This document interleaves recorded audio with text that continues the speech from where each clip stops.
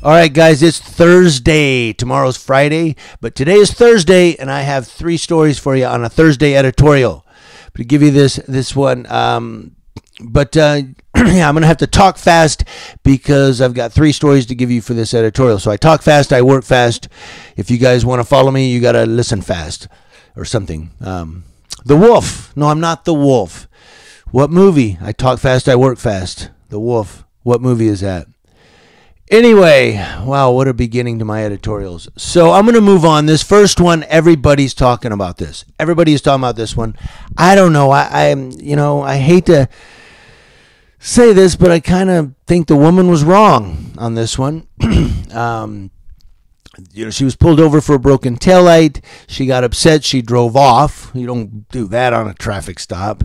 Uh, when she was caught, she alleged she was alleged and actually charged with kicking the guy in the peanuts down below. That's right, the good old family jewels down south got a kicking, and he tases her.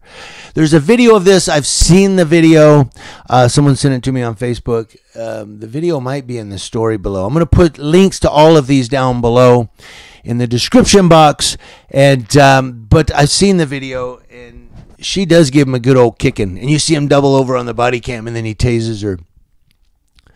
So an Oklahoma an Oklahoma woman who was pulled over for a broken taillight refused to accept an $80 ticket and instead yelled at the officer, drove away from the scene, and later struggled with him according to police body cam footage and court documents. The officer ended up firing his taser at the 65-year-old woman and ultimately handcuffed her on the ground. You did not have to taser me, the woman says afterward while sitting in the back seat of a police vehicle. The officer was quoted as saying, You wouldn't comply, you wouldn't get out, and then you tried to kick me. So, yes, I did. The country girl says, Yeah, I tried to kick you because I'm a country girl. Because no, I don't like being thrown on the floor. And she does say that in the video. Uh, you watch the video, she does say, Yeah, I tried to kick you because I'm a country girl. So he said, You tried to kick me. She says, Yeah, I tried to kick you. Listen to this. Listen to this.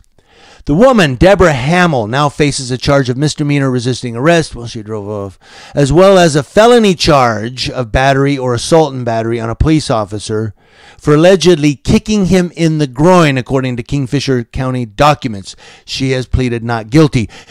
For allegedly kicking him in the groin. He said, You tried to kick me. She said, Yeah, I tried to kick you. So if there's no connection, is it then battery and assault if there's no connection, or is it attempting to? Is that just simply resisting arrest if there's no connection?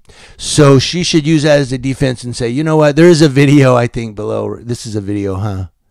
Anyway, um, but yeah, I mean, so he says she tried, he, she tried, she says she tried, but she's being charged with actually doing it. I don't know. Police body cam video of the July 16th incident in Cashion, Oklahoma. Where's that from you guys, you Oklahoma cop watchers?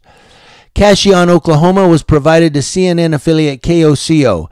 Cashion police did not respond to a request for comment, citing department policy not to comment on cases in which criminal charges are pending.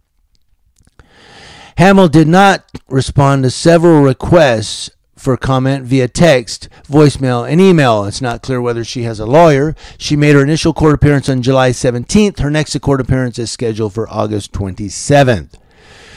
So there you go. I watched that video. Oh my God, it's a great one. Deborah Hamill appears to kick the officer in the groin during the rest police body cam video shows.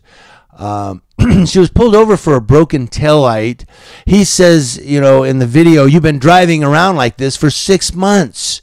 I'm not giving you a warning for something you've been driving around for six months. And then she's like, I don't deserve, I don't think I deserve a $80, you know, ticket for something that's fixable. And they go back and forth and then she drives off. um, but there's more to the story. If you go down below, there's a whole bunch of, uh, she yells, leave me alone in that um, you guys have to read it. That's if you don't read any other story, well, that's the one you have to go to.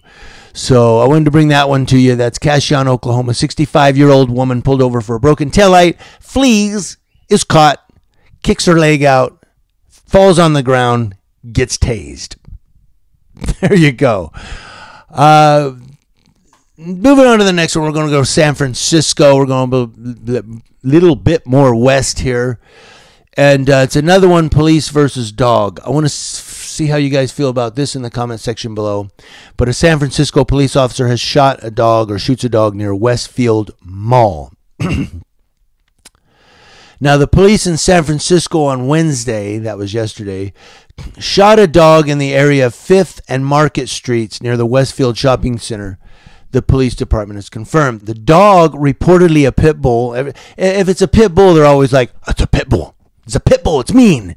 You know, and I was in animal control. 85 to 90% of the pit bulls we picked up were the, the only thing you'd get hurt by is their tongue as they lick you to death.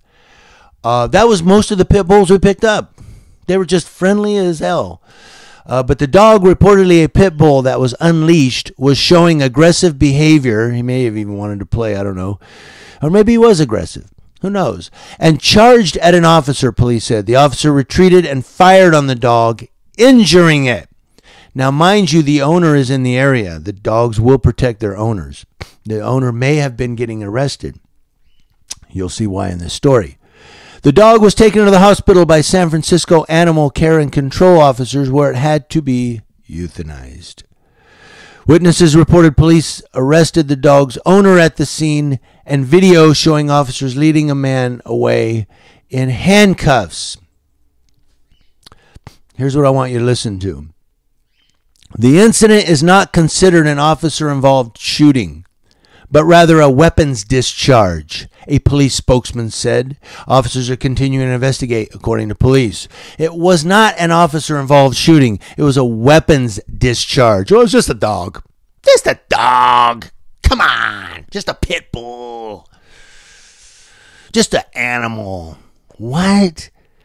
That pisses me off right there that it was not an officer involved shooting, it was just a weapons discharge. Pang! Oh, weapon went off. Oh, the bullet hit the dog. That pisses me off. And I'm telling you why, because I'm reading into that. And if I'm reading it too much into it, let me know. But in my thought process, I'm thinking that they are saying it was just a dog. Come on.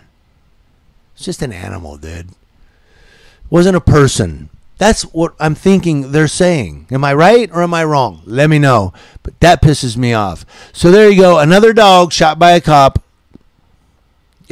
Uh, it seems like dogs now are uh, as in much fear for their lives from cops as people are. What's going on, man? So let's go to the third story. Moving on. Got to close this up. I know I make these long, but we're doing three today, so hang with me. Following another water incident, there was another water incident. Assemblyman proposed a law making disrespecting police in New York felony. Somebody, remember the uh, they threw all the water balloons and drenched the police officers. Well, there's been another one.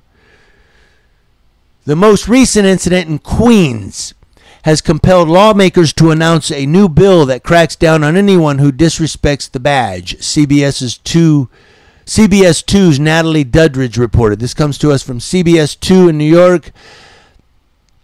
Police are on the hunt for a person caught on camera throwing water at traffic cops. And he's like, does this with his water bottle, and all the water is coming out. You can see in the picture here in the story below.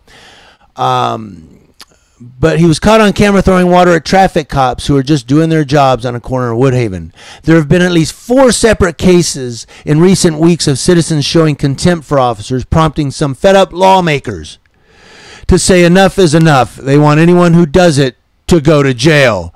I kind of agree. No, look, I know you guys hate. There are people watching my videos that hate cops, and they say there's no good cops. Cops are bad. Yada yada. But throwing water at cops, that's assault. I'm sorry, but we can't throw water at each other because we'd get charged. If somebody walked up and hit you in the head with a water balloon and said "fucker" and walked off, you'd go, "Hey, you know what? That's assault." You know you would. How many of our cop watchers or First Amendment auditors holding their camera out and somebody pushes their camera and they go, "That's assault. That's battery. I'm calling the police. I'm going to do a citizen's arrest for battery." So when people are throwing water balloons at cops, Guys, we're all about accountability and transparency. It's assault. But there is something I want to bring out. Listen, don't don't hang up yet, guys. Stay on the phone with me here. There have been at least four separate cases. We went that. Police are looking for the man who was captured on video blatantly tossing bottled water at two NYPD traffic enforcement agents in Queens as he records it on his cell phone. The incident happened last week at 86th Street and Jamaica Avenue, man. That is very disrespectful, one New Yorker told Duddridge. Woodhaven resident Jose Cancela added, quote, he's just walking away thinking it's all right to do that and it's not right to do that to anybody, not just the cops. Yeah, he can't do that to anybody. That's assault. It was the latest incident targeting members of the police department. Earlier this month in Harlem, officers were drenched while trying to make an arrest. A bucket was even thrown at their heads, and in Brooklyn, water was dumped on officers as they calmly walked away. But authorities implored police not to stand for it, and now two New York lawmakers want to make disrespecting officers a more serious crime. They're looking at making it a felony. We will not wait until these attacks spread like wildfire, said Assemblyman Mike LiPetri, repres- uh, Republican from Long Island. This time it's water. What's next? Gasoline? Acid? Um, skimming down through here. It's a really long story. You can go read it if you want. Um, but here's what I but I was getting to something here. Our police officers, Reilly said, who I don't know somewhere there's uh, Reilly. Oh, Michael Reilly, Republican from Staten Island, says our police officers are being targeted for harassment and even assault while doing their job. This is the direct result of political grandstanding from politicians like Mayor de Blasio, who've done absolutely nothing to foster police community relations and instead spread an inflammatory anti cop rhetoric just to score a few points. And he's commenting on something there in the story. You can go read it, but I wanted to get you to that where he says, done absolutely nothing to foster police community relations. In the description box below, I've put a link to a documentary on Hulu. It's called Community Plus Punishment, or Crime Plus Punishment. I'm sorry, not community. Crime Plus Punishment. Crime plus punishment. It's in the description box below. It's a link to that documentary on Hulu. Uh, the link is to Internet Movie Database. You can go to IMDb and check it out and read it there. Um, I don't know if it's still on Hulu or not, but if you can get a hold of that documentary, um, watch it because they're complaining and they're crying about NYPD community police relations. You watch that documentary, you'll know why the people in New York are pissed off. I'm not condoning or justifying throwing water on the police or throwing water balloons. That's assault. I'm sorry, but you break the law. Come on, guys. You know, let's at least, if we're going to be activists and, and have police accountability and police transparency, let's at least not break the law. Okay.